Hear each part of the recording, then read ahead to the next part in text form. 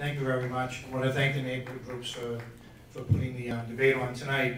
When I think about the infrastructure in the, the city, I look back over my 30 years delivering mail in, in the city of Lowell. The torn up streets, you know, neighborhoods are like people. They live and breathe. People move in every day.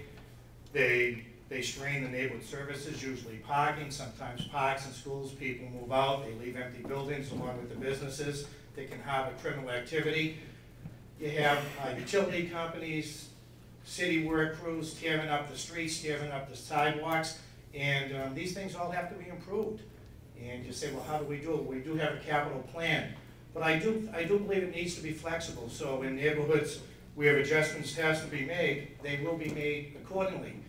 We have to reinvest in the neighborhoods. Right now, we have the city manager's um, initiative, the Impact Initiative Program.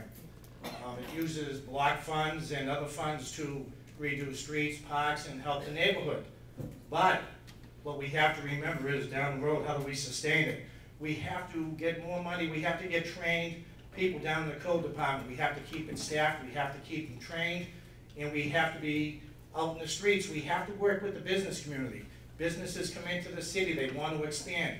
We have to make, keep it safe, but we have to work with the businesses so they can expand their businesses and uh, hire new employees and be profitable. We have to look at how we do ashes and waste and how we do garbage disposal.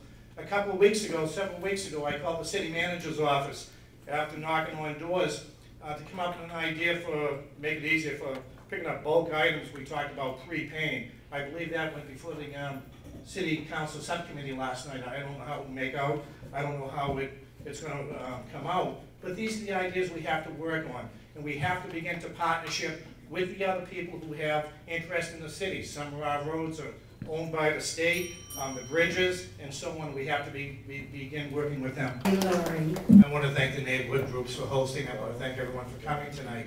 A couple of key issues, I think. One, we do need that capital plan. I do think it needs to be flexible.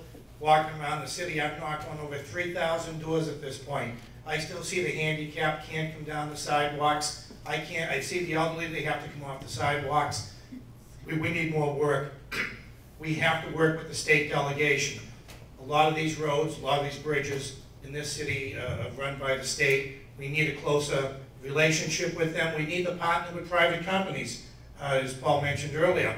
They own the canals, they own the walkways around them, and the historical park might own some of that area or, or control it. We have to get a partnership with these people, and um, we need a capital plan for ourselves, and we have to work with the others to keep the city clean and, and the roads going. Thank you.